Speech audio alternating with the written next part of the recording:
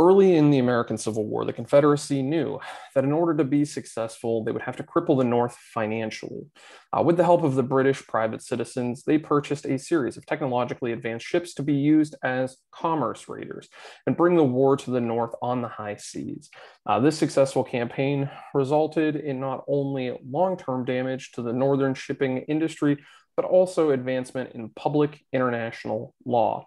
And that's what we're going to work to unpack here with Mr. Dennis Carlson as he explores the Confederate Surface Raider CSS Shenandoah. Hello and welcome to a special program, a partnership between the Hagen History Center, the Erie Civil War Roundtable, and the Jefferson Educational Society. I'm Ben Speggen, I'm the Vice President at the JES, and I'm a contributing editor at the Erie Reader.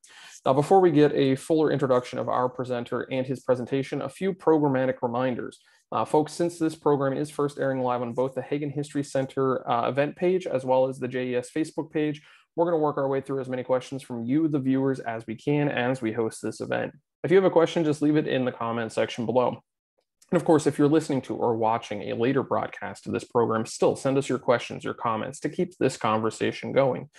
And for more information about upcoming JES programs and publications, please visit jeserie.org. Be sure to like us on Facebook, follow us on Twitter and Instagram, and subscribe to our YouTube channel. And for more information on the Hagen History Center, please visit eriehistory.org and find them on the social platforms too. Now, I'd like to introduce the guest who is no stranger to the JES uh, stage and digital programming, who will introduce uh, this program's presenter. Now, you may know him from presentations on the Civil War and Erie history, or on the Cuban Missile Crisis, or on corrupt and contentious presidential elections, and or you may know him as the executive director of the Hagen History Center.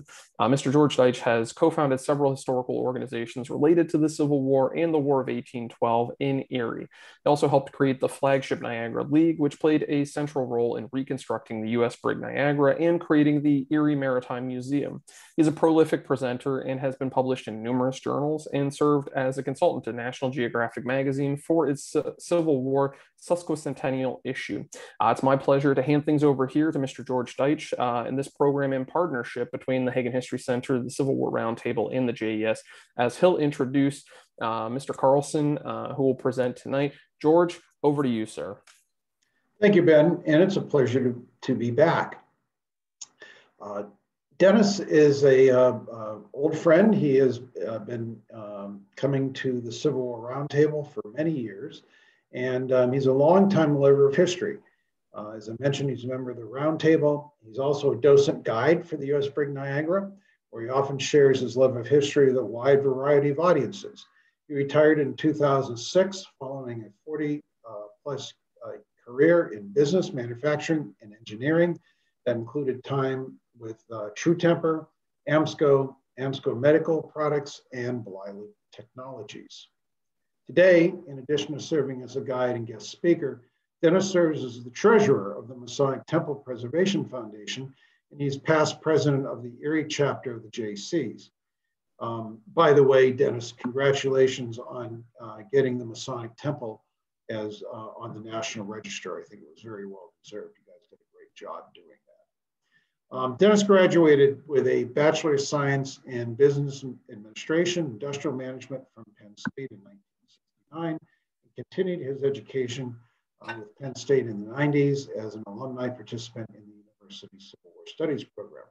When he's not volunteering in the community, he can be found reading, watching Penn State football, spending time with his family at home or at the yacht club, and hunting for wildlife with his camera. So a little bit about tonight's uh, presentation. Um, uh, I think Ben had started out by talking about the Confederacy needing to bring the war um, uh, economically to the North, and the best way to do that was to try to uh, cripple their commerce. And uh, so the successful campaign um, did true long-term damage, and, and Ben will talk about it as well as uh, disrupting the trade across uh, the Atlantic and uh, so on, but also um, the results uh, were very interesting in their impact on international law. Um, in this um, event, the partnership between the Hagen History Center, the Civil War Roundtable, and the JES, we do welcome um, uh, Dennis to uh, give us his slide deck and um, uh, tell us all about this fascinating story. So Dennis Carlson, take it away. Thank you very much, George. I really appreciate uh, working with you and Ben, and uh, I hope you enjoy this program tonight. Uh, we're going to start off with the Confederate surface raider CSS Shenandoah. It is one of four surface raiders that came out of uh, England.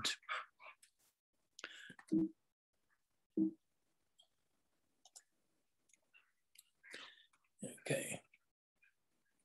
There we go. Uh, the most popular one is the CSS Alabama, launched in 1862. Uh, Raphael Semmes is, of course, the captain of the uh, Alabama. She was sunk uh, by the uh, Kearsarge in 1864 uh, in a battle off of Cherbourg, France.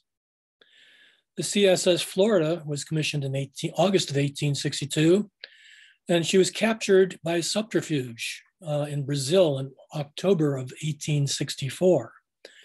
Uh, that's basically a polite way of saying she was cut out or we stole her fair and square. Uh, she was uh, sunk in November of 1864 in a collision uh, with a Union uh, vessel. We also have the CSS Finnegal, also known as the Atlanta. It was purchased and commanded by James Bulloch, who was on board the Shenandoah during the expedition that we're going to be talking about tonight. Uh, it lost uh, a battle with uh, the ironclad Weehawken in June of 1863. That was after she became an ironclad. And of course, that brings us to the Shenandoah, who was previously known as the Sea King. It was commissioned in November of 1864. James T. Waddell was commanding and eventually sold to the Sultan of Zanzibar uh, sunk in 1869 when it was grounded on a reef. Here we have some uh, photographs of the Alabama, Florida, uh, the Ram Atlanta, and uh, the painting of a picture of the Shenandoah uh, in activities uh, in the whaling fleet in the Northern Pacific near the Aleutian Islands. Commander James T. Waddell, uh, he was uh, a very handsome looking individual, but I don't think I'd like to meet up with him in a dark sea some night. Uh, he was uh, actually in Hong Kong when the war broke out, and uh, he came back, found his way back to the United States as soon as he possibly could. And he met with the Secretary of Navy and he wanted his back pay. And they said, Well, we'll give it to you uh, providing you don't uh, take arms against us. Well, that was not his intention, and it also uh, disturbed him greatly. Uh, and it didn't stop him from uh, uh, taking over the Shenandoah. Now, these vessels were vessels that came out of England.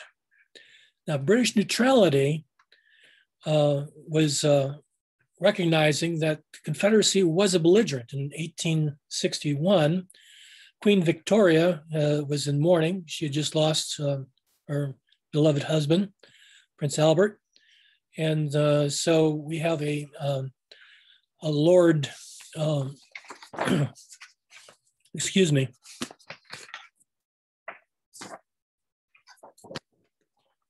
Lord Palmerston, uh, who is the prime minister, and he was uh, promulgating the activities uh, as to how we are going to be handling British neutrality with the United States. They do not really want to have a war uh, with U.S., even though there is uh, some uh, appreciation for the South, which was also their supplier of cotton.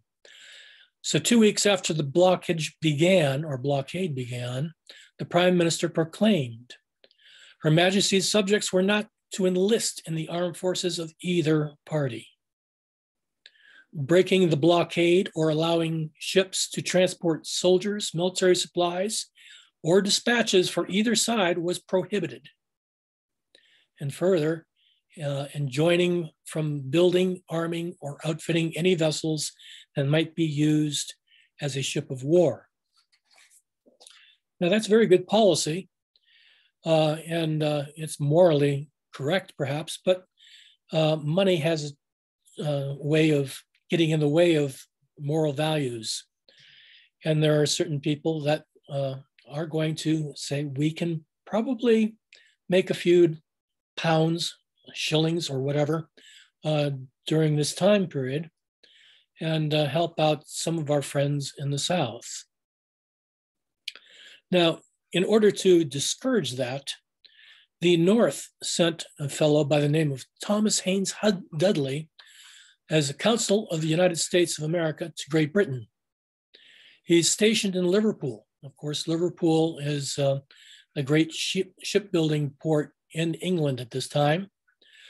And uh, he felt that that's where the action is. We were trying to keep him honest. He thought to be uh, the chief spy during the um, war, but uh, I consider that perhaps a little bit um, harsh language.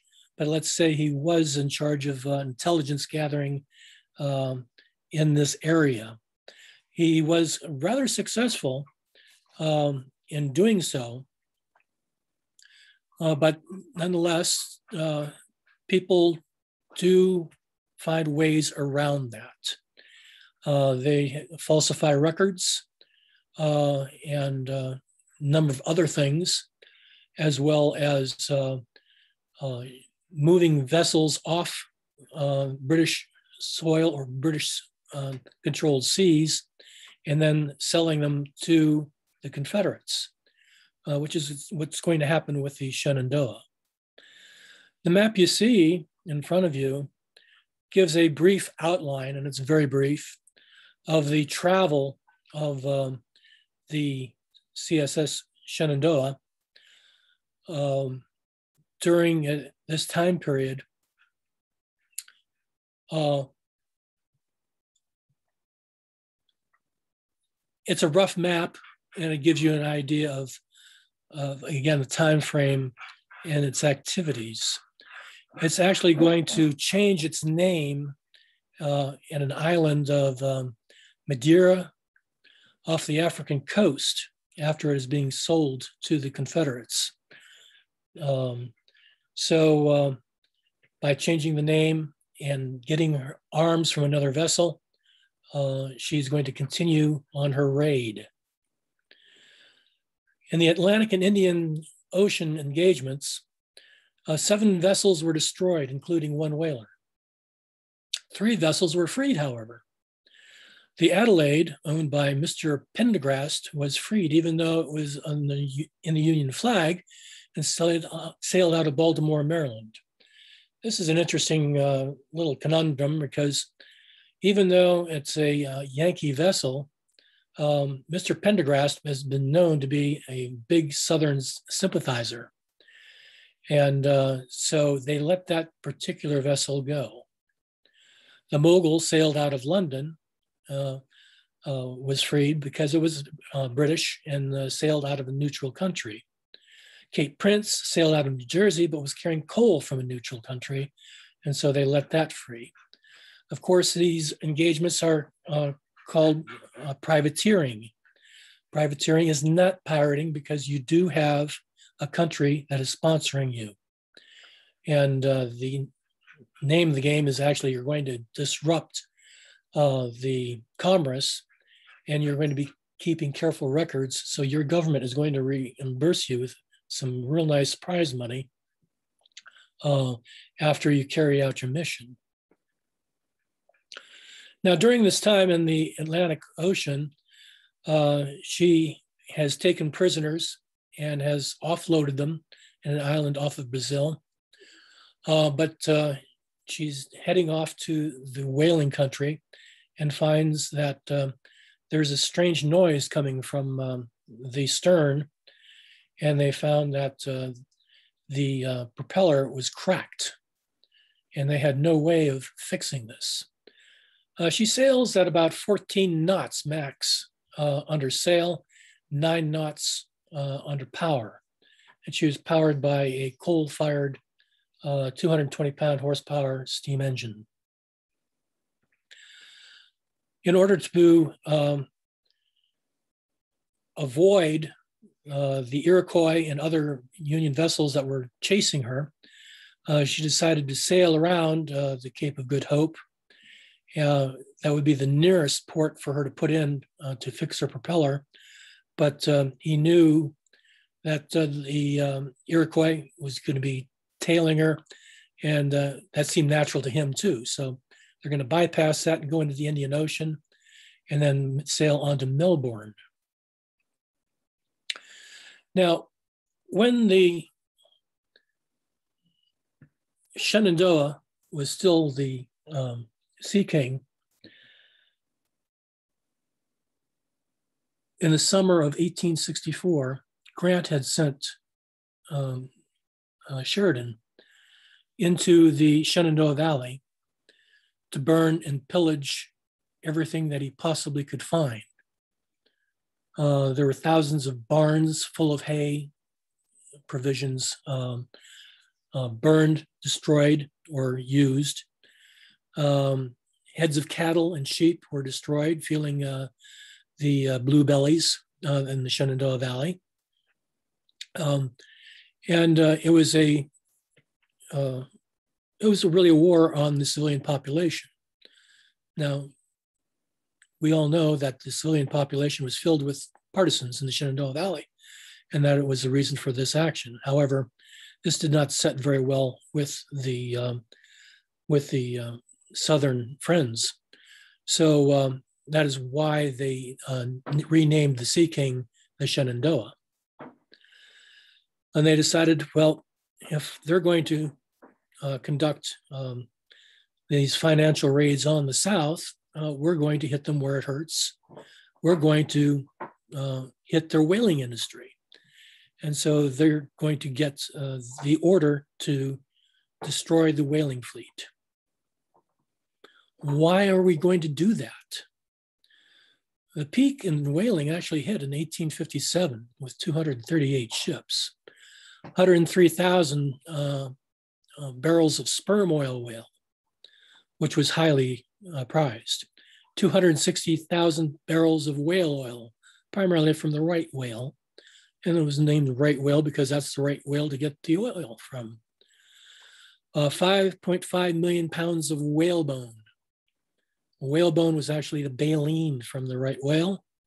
And it was uh, used in uh, women's corsets, skirt hoops, um, hairbrushes, uh, buggy whips, uh, caning for chairs. Uh, and it was uh, very fashionable uh, in the Victorian age to have a very tight waist. So uh, whalebone was quite precious. By 1860, the fleet was actually cut in half. and that's mainly due to overfishing. Now, in this slide, we also see sperm whale, or something that resembles Moby Dick. You see the bowhead whale, uh, which is a new development uh, found in the Bering Sea, and of course the right whale, which um, is uh, a prime mover here. Whale economics, 1854 to 1864. Sperm whale oil, spermaceti, went from $124 a barrel to $178 a barrel. You know what happens to gasoline when we raise it up 20 bucks? Uh, whale oil doubled for more than to more than $128 per barrel. Whalebone increased 500%. Uh, so this was pretty lucrative uh, commerce that is all going to the north and primarily uh, to New England, which is more where most of the whalers uh, were coming from. In 1862, we have a development and the Canadian geologist Abraham Gesner devised a method to extract kerosene from petroleum. And there's a lot of whales that were dancing in tutus uh, after this took place, uh, because that uh, would relieve some of the pressure uh, on the hunting. Also ended up um, making um, some oil people very rich. Now, the Southern perspective and this is a statement from Waddell. The Yankees fought on the calculation of profit. The North's sole purpose in prosecuting the war was not as stated to free uh, the slaves, but to dominate the South financially. This fact never left my mind and reconciles me to the destruction of the property which was captured. Uh, he did not have any second thoughts about doing this. He firmly believed that uh, this was uh, the true cause of the conflict. And uh, there's evidence uh, that, yes, he might be right on that. In the years leading up to Lincoln's first presidency, his campaign denied that abolishing slavery was part of his platform.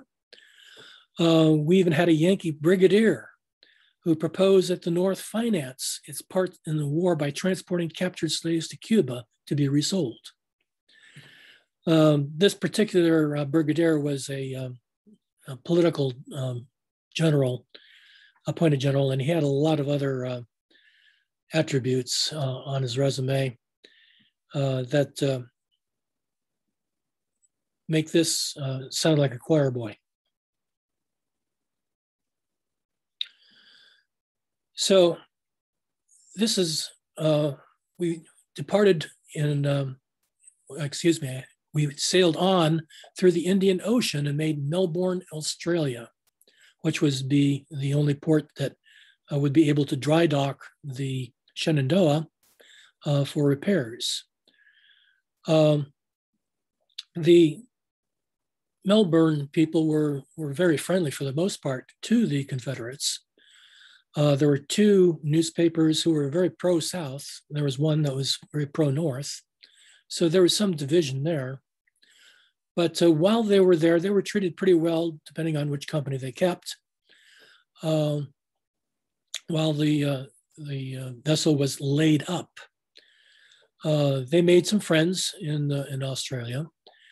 And they ended up departing in February of 1865 with about 40 stowaways. Stowaways. Wink, wink, nod, nod.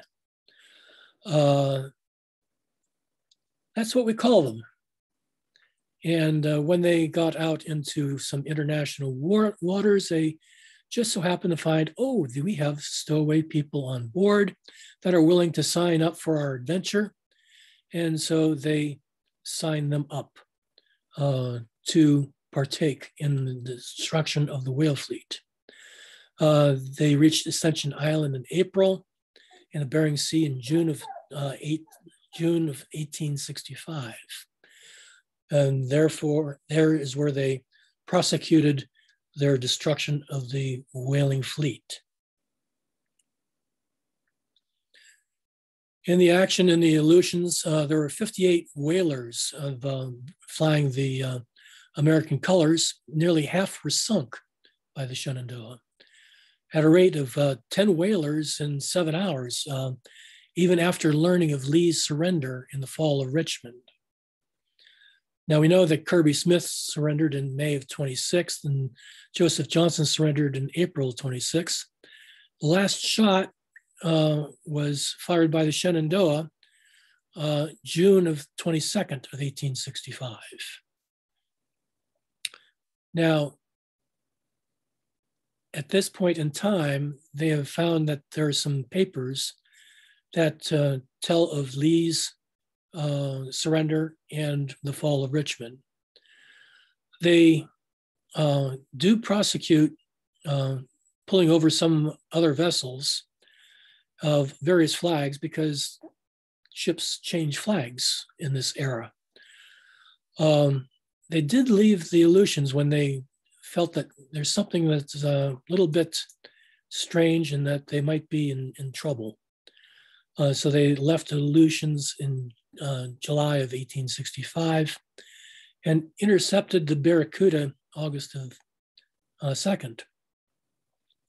It was on the, this vessel that they found newspapers that said, yes, indeed, um, learned of the uh, surrenders of Johnston and Kirby Smith. Um, uh, we learned that um, um, the president has been captured. He's no longer escaped Richmond and the Union forces. He's no longer encouraging uh, guerrilla warfare.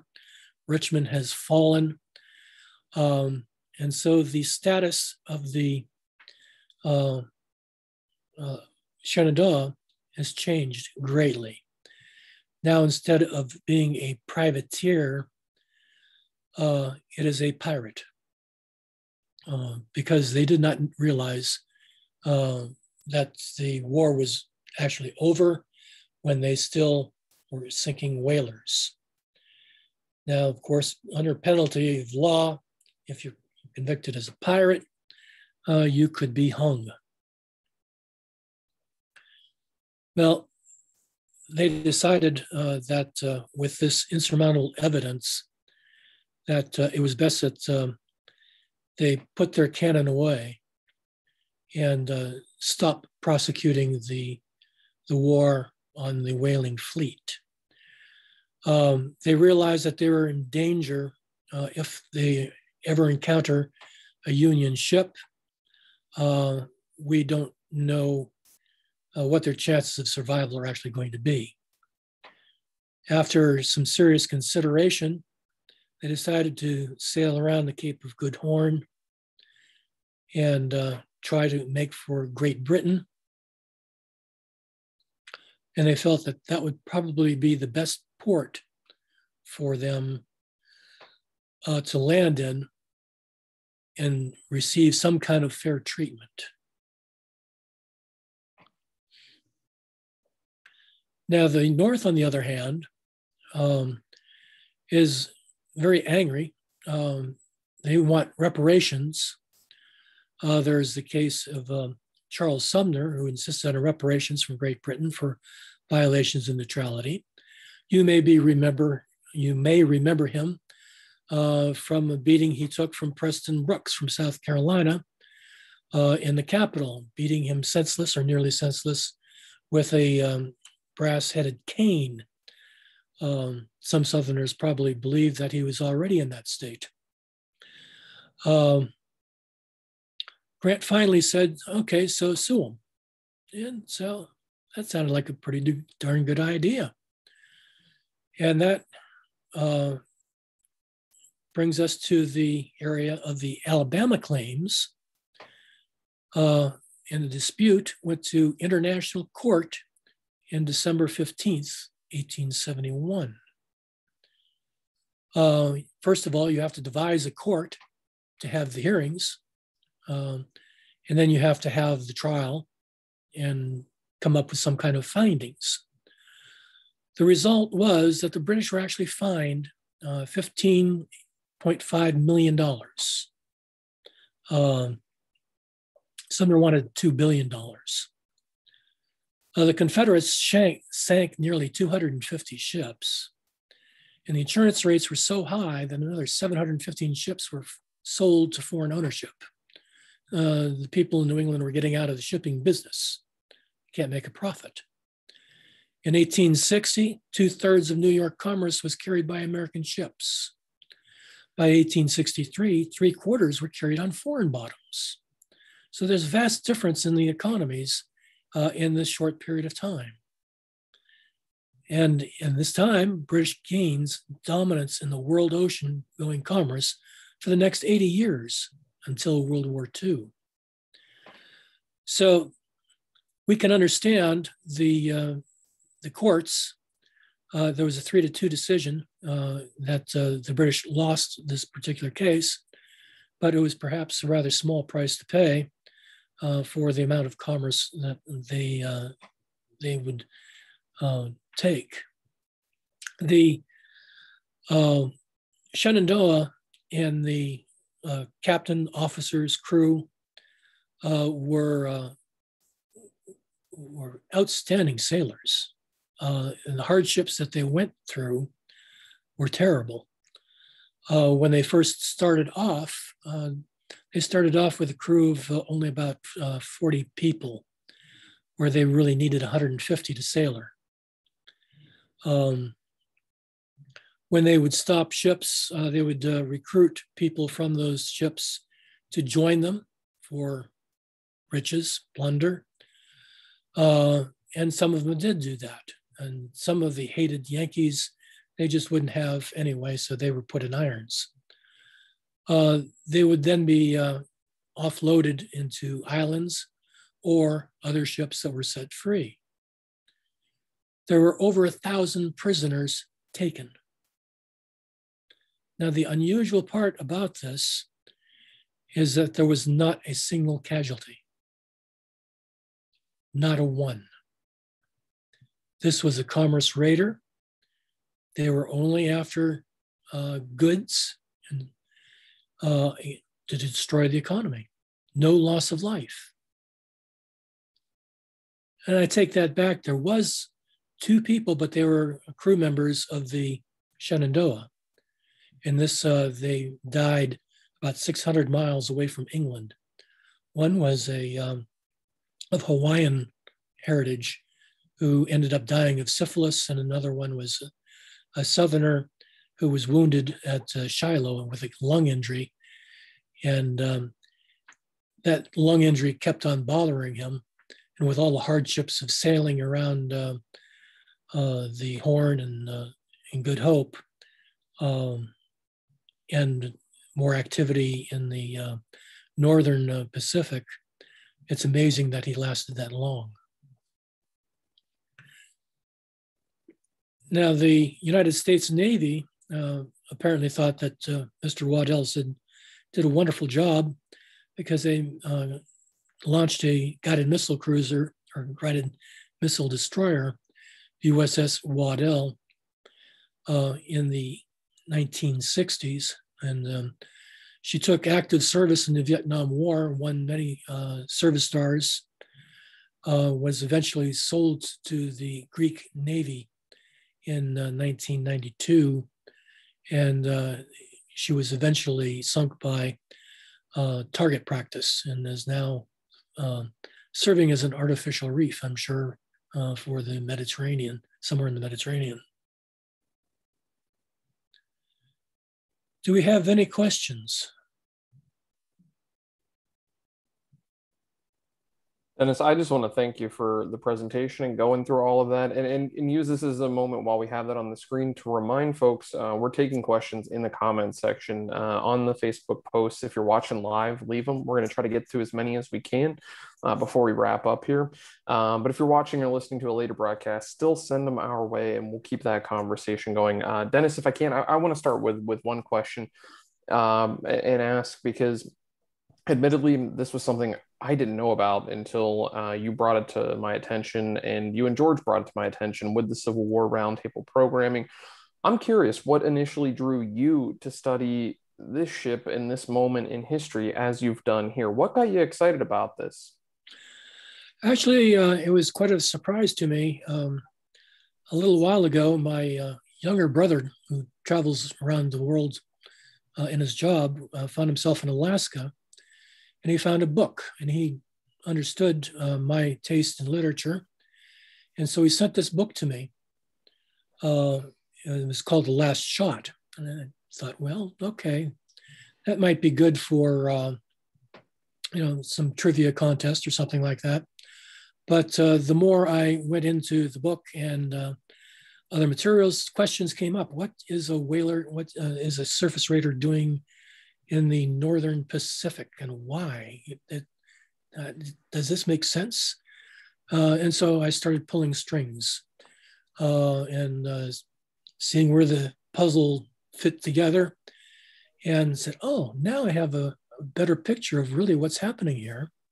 And this gives us a new viewpoint or a new slant, or maybe not new, but one that's rarely talked about. Um, and that is the war of economics uh, between the South and the North. Uh, we understand that um, after the war, uh, the economy in the South was ruined. They did not uh, come back to pre war uh, levels until after World War II.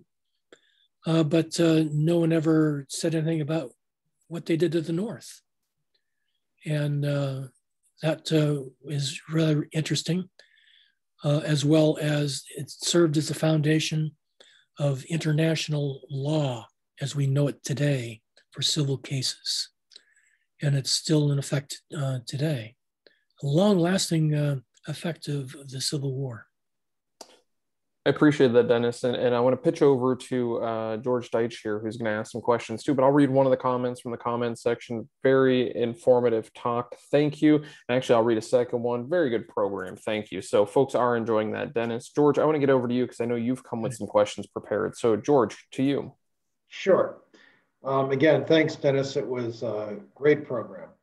So, considering Britain's neutrality, official neutrality, can you explain, explain a little more about how the Confederacy managed to um, receive the warships that they uh, uh, and, and paid for them and then transferred ownership? And particularly, um, how did they manage to get um, uh, get out to sea and get armed and reflagged? Can you tell explain a little bit more about that?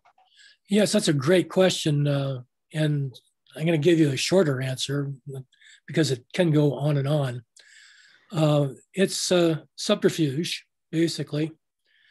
Uh, the Southern people uh, sent uh, people to England, obviously, for support. And they did have uh, a lot of people in England who sympathized with the South. Uh, but Britain's stated purpose, using their neutrality, uh, is is plain, but it can be uh, circumvented, and you circumvent it by um, purchasing ships. And the South really didn't have an awful lot of purchasing power, uh, but they were wheeling and dealing and saying, promising cotton, uh, where cotton was starting to get scarce in Great Britain. And uh, so that meant uh, the price of cotton went up and uh, they were they were dealing in a lot in promises, a lot of promissory notes uh, to actually purchase uh, some of these vessels. Uh, um, Mr. Dudley does a wonderful job, from what I've been able to see. Um, otherwise, there would have been a lot more. Uh, having only four of them um, get out, uh, I think, is rather phenomenal. Now, the way that it is really done was um, in the Sea King, uh, the sailors were promised uh, uh, a voyage and getting paid for a voyage to go to Bombay. Uh, all the shipping papers were saying, We're going to Bombay. Bills of lading were falsified. And then they set sail from Liverpool and then London, and eventually going to Madeira, um, where they met with another vessel called the Ariel. Now, the Ariel, again, was falsifying records, but they were just loaded uh, with armaments and things for the Shenandoah to use. Uh, they had six guns. Uh, they had two 12 pounders, uh, two Whitworths, which um, I found rather interesting because, as you know, those are uh, breech loaders, and I believe they're uh, rifled as, as well. That gives them a bit of a range. And then there were two that were uh, undescribed, but uh, during the loading uh, or unloading of um, cargo onto the Sea King, uh, there were some crates of 24 pound uh, cannonballs that broke and they scattered themselves around the deck. And the um, report was that the sailors were just too tired even just to round them up. But since they were 24 pound cannonballs, I don't believe that they were using that for ballast. So that might give us a hint as to uh, what those other two uh, guns were. Um, in October 7th, she left London. October 19th, she was in Madeira Island. Um, and then they were offloading at night in rather big hurry because if uh, there was a vessel that interrupted them, uh, they could find themselves in big trouble. Um, they're still going to be uh, carrying British ensigns. And one thing that I found interesting with the vessels is um, in the reports of the diaries uh, that were recorded from the book, um, they were able to tell the cut of the hull and the design of the vessel and determine whether it was American built or British built um, with relative certainty. And of course, if this is British built, uh, that's going to really help in uh, disguising their activities. Uh, they only left with about 42 hands, well short of what they needed. Uh, only five um, people from the Sea King joined out of 55 people. Uh, those were British subjects. Five were uh, taken from the Laurel, who were British. Uh, they had 10 um, from the Alabama, uh, survivors from the Alabama, and they had 23 other officers um, from the various uh, countries. Uh, I hope that answers your question, George. Sure. Um, and they then were off to raid. Okay, so they um, they armored up well outside the territories, subterfuge. It's a great story. Um, then I kind of go to the end of or toward the end of the story, and um, uh, after the uh, attack on the whaling fleet, they sailed down uh, uh the west coast and um, eventually they met up with Barracouta. They found out that the South had surrendered uh, completely. And then they were off to find a, a, friendly port, or at least a port that wasn't going to intern them. And looking at the map, they went past Pitcairn Island, which is one of the mo most remote islands in the uh, world. They went around Cape Horn in the dead of winter, which is a horrible place to try to sail, and then um, up to England. Um, I, I, I find that part of the journey pretty fascinating. They were able to, uh, you know, circumnavigate the world and, and elude the uh, Union Navy, who was certainly chasing them. Can you uh, you tell any more about that um, that journey and, and some of their hardships? Uh, yes, a little bit more. Um, the uh, it's a very long uh, journey, as you said. Uh, they're they're finding that um, they are in peril, and when you're frightened, boy, you can do some wonderful things. Uh, sailing by Pitcairn Island, obviously, yes, that, uh, they're going to try to avoid shipping channels. I suspect that they're going to put the British ensign up on their uh, mast or, or aft. Um, and try to cloak themselves. And they're not really uh, worried too much about the British as much as they are about uh, the, the northern, um, uh, the Federals. Uh, like I said, there are a lot of people upset um, in New England, especially, which is obviously where Sumner's home state is. Um, and the North had granted amnesty to everybody else in the Civil War except for the officers of the Shenandoah at this time. So um, his instincts were very good. I'm talking about uh, Waddell. Um, the perilous journey uh, was was terrible. Um, they found that uh, in some cases the ropes uh, froze in the blocks, and uh, that makes it very difficult to reef the sails um, because you can't raise or lower the sail. So the only other thing you can do is uh, uh, change your sail, sail attitude and try to spill some some air. Um, this takes a great amount of seamanship, uh, some great navigation. Uh, these are extremely talented people, and uh, like I said, their their fingers are freezing. Uh, they do have um, a fair amount of, of food.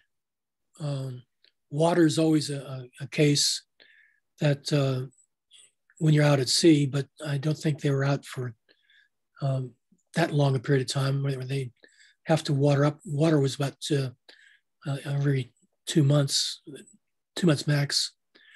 Uh, but the hardships were just absolutely incredible. And uh, that it probably helped, uh, you know, cause the deaths of the two individuals that sailed on this adventure. Okay, Ben, do you want to take the uh, uh, next questions?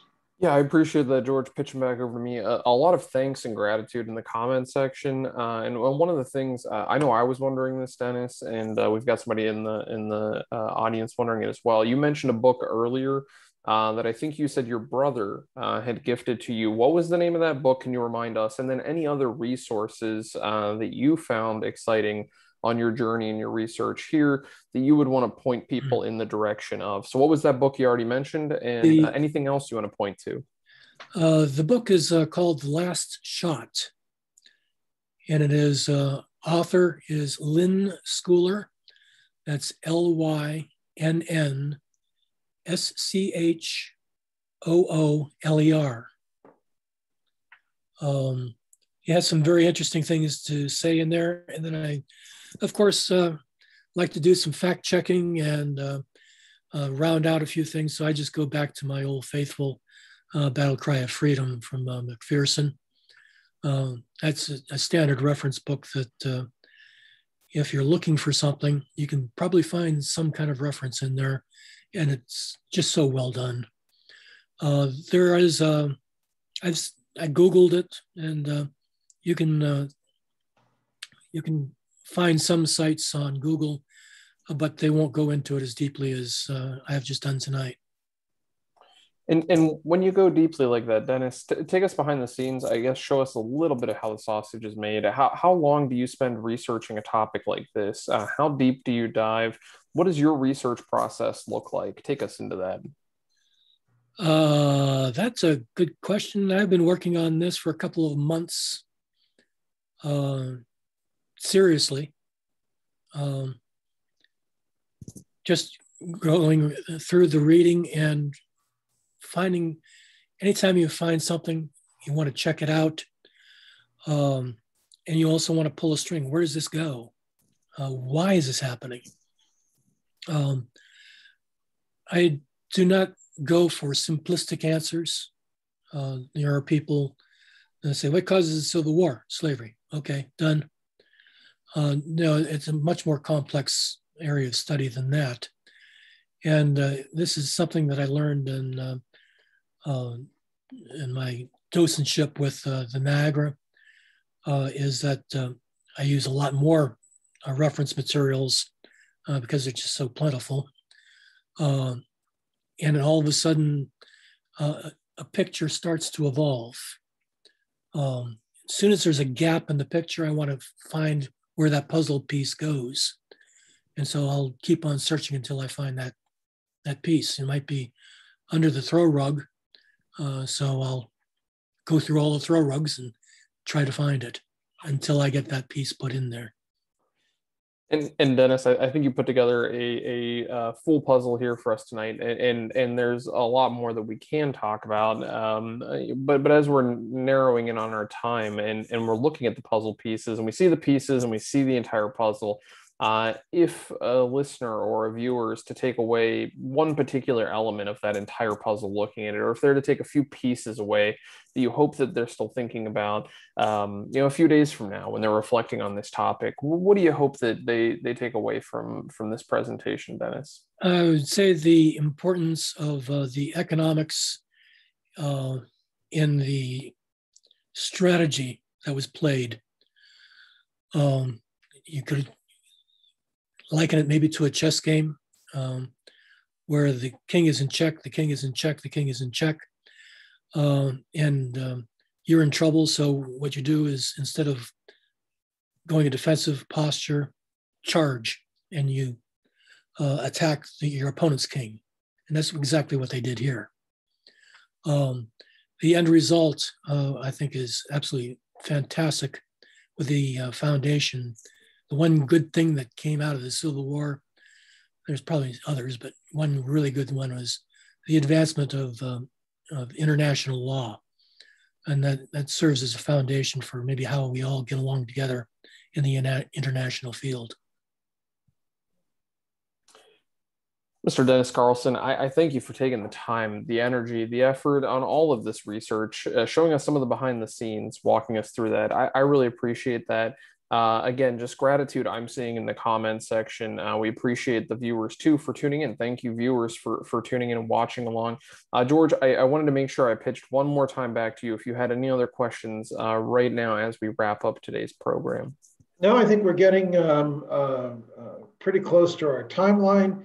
Um, again, Dennis, really appreciate all that you, all the research and everything that you did. Uh, Civil War Roundtable goes on a hiatus every year at this time. Um, we'll be back in September. Not quite sure if we're going to be in person at the Hagen History Center as we have been for a number of years, or if we're going to be online, or perhaps both. So um, uh, if you find out about us through any of our social media, um, know that we'll be back to see you in September. There's a song about that, isn't there? yes, I think so there's something to that effect. And what I hear is stay tuned. And uh, George, while you've got the mic, uh, where can folks find more information about the Hagen History Center if we're to point them somewhere? Sure. Um, if you uh, have any questions um, that you uh, want to uh, shoot to me for Dennis, um, it's eriehistory.org, eriehistory.org. Um, you can find my email on that. Please uh, send us any questions. Uh, we have uh, great things coming up. Um, COVID depending, we'll be opening or uh, reopening the Historical Society Hagen History Center uh, buildings. Uh, we're, we've gone from one pre-COVID, we will now have four exhibit buildings open. We've poured a huge amount of time, effort, and money. Um, many new galleries who are essentially going to be um, America's newest museum, will be opening the weekend of the 16th, 17th, and 18th of July. So uh, watch for that. There'll be plenty of publicity coming up, and we'd love to see you folks come down. That's right, folks. Stay tuned. eriehistory.org. Head there. And of course, for more information about uh, both upcoming uh, JES programs as well as past discussions that you can stream on demand, uh, head over to our website, jeserie.org. Uh, you're also going to find a wide range of publications from timely reads on current topics to reports, essays, and more. Uh, and of course, be sure to like us on Facebook, follow us on Twitter and Instagram, and subscribe to our YouTube channel. Uh, and one more time, Dennis Carlson, I want to thank you, and I want to read one more comment uh, from the comment section. What a truly wonderful presentation, well researched, well presented, with a sense of humor. Congratulations. Uh, so, Dennis, we thank you for that. Uh, and we, we tell folks to stay tuned uh, to find out about Civil War Roundtable programming, the future of it, taking a little hiatus, but we'll be back, no doubt, one way or the other. So, on behalf of the Erie Civil War Roundtable and the Hagen History Center, and for the Jefferson Educational Society, I'm Ben Speggen. Be safe, be sound, and thanks for listening and learning with us. Thank you, gentlemen.